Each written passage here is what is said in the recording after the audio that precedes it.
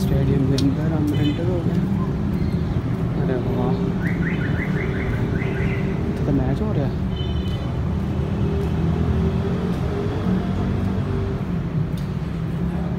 ये तो ये हम आ गए हैं जना स्टेडियम के अंदर।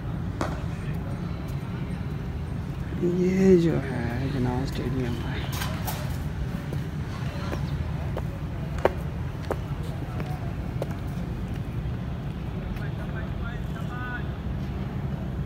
यहाँ मैच हो रहा है ये देख सकते हैं आप। वालेकुम व्यूअर्स कैसे सब ठीक ठाक है? मेरे चैनल पे आने वाले नए दोस्तों से गुजारिश है कि अगर आपने मेरा चैनल सब्सक्राइब नहीं किया तो सबसे पहले मेरे चैनल को सब्सक्राइब करें मेरी वीडियो को लाइक करें शेयर करें कमेंट करें। सो जो है वो आज की वीडियो स्टार्ट करते हैं जो मैं जो हूँ नादरीन अभी मौजूद हूँ गुजरावाला के जना स्टेडियम में। सो ये आप मेरे पीछे देख सकते हैं कि यहाँ पर जो है वो मैच हो रहा है। अच्छा तो ये जो है जी नादरीन जना स्टेडियम है। ठीक है, आप देख सकते हैं। वो वहाँ पे टीम्स बैठी हुई हैं और यहाँ पे नीचे जो है वो मैच चल रहा है। और मैं आपको यहाँ की इंटरेस्टिंग बात जो है वो ये बताने वाला हूँ कि ये जो स्टेडियम है, ये आपको पीछे नज़र आ रही होगी। दुनिया के जो सबसे बड़े बैट्समैन हैं, जिनका नाम है सचिन। और दुनिया में सबसे ज़्यादा सेंचुरीज बनाने वाले जो खिलाड़ी हैं, सचिन तेंदुलकर, उनका जो डेब्यू था, इसी ग्राउंड में हुआ था। और बड़ी ही यादगार ग्राउंड है ये। दुनिया में बड़े बड़े स्टेडियम जो हैं वो तरक्की करके हुए हैं, लेकिन होप सो उम्मीद है कि हमारा पाकिस्तान भी तरक्की करेगा। तो सचिन जो है वो दुनिया के वो खिलाड़ी हैं जिन्होंने सबसे ज़्यादा सेंचुरियाँ स्कोर की हैं और उनका डेब्यू जो है वो गुजरावाला की ये जना स्टेडियम हुआ था, ये पिच जो आपको नज़र आ रही होगी। ये वही पिच और वही ग्राउंड है जहाँ पे दुनिया के सबसे बड़े खिलाड़ी का डेब्यू हुआ था।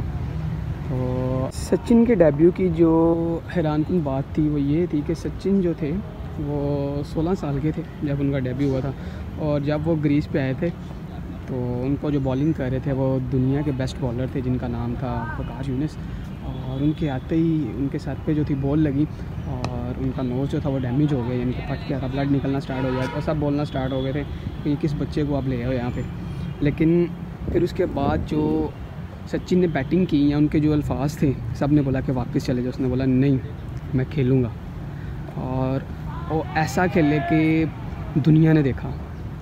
और स्टेडियम की हैरानकुन बात यह है कि यहाँ पे जो सीटिंग है या जो चेयर्स हैं, वो तकरीबन चालीस हज़ार है, यानी कि चालीस हज़ार बंदे की कैपेसिटी है स्टेडियम में। और ये गुजरावाला का, यानी कि जो क्या उसके कहते हैं, मरकज़ी स्टेडियम है, जिसको जना स्टेडियम कहा जाता है।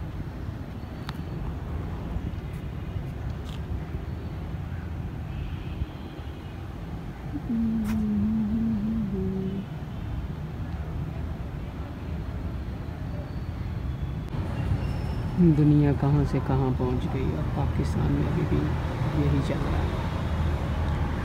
डिजिटल से डिजिटल दौर हो गया। और देख लें कि क्या चल रहा है यहाँ पर अभी तक। नाइन्टीज़ का स्टेडियम है ये, और अभी तक इसकी हालत नहीं है बाय हुकूमत जो है, वो इमरान खान की है, और इमरान खान एक स्पोर्ट्समैन है। उनको चाहिए कि इस चीज़ की तरफ़ भी ध्यान दें।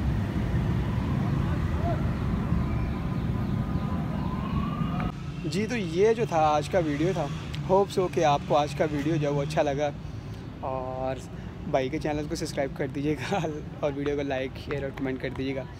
और अपनी दुआ में याद रखिएगा। अल्लाह हाफ़